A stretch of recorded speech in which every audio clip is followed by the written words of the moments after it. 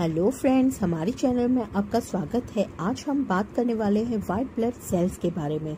अगर हमें स्वस्थ शरीर चाहिए तो वाइट ब्लड सेल्स की भरपूर मात्रा होना बहुत ज़रूरी है।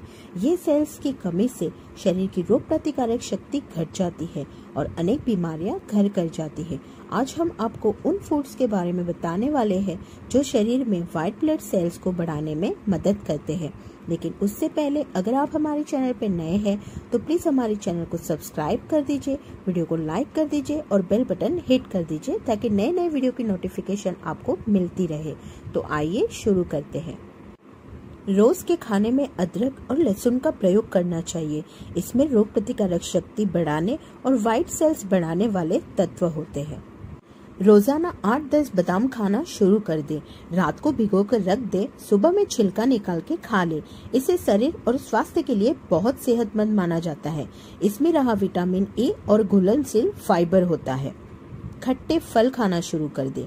सारे खट्टे फलों में विटामिन सी भरपूर पाया जाता है। विटामिन सी आपके शरीर में व्हाइट ब्लड सेल्स की मात्रा बढ़ाने में मदद करता है।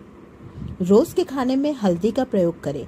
इसमें रहा तत्व एक अच्छा एंटीऑक्सीडेंट माना जाता है, जो रोगों से आपके शरीर को रक्षा करेगा।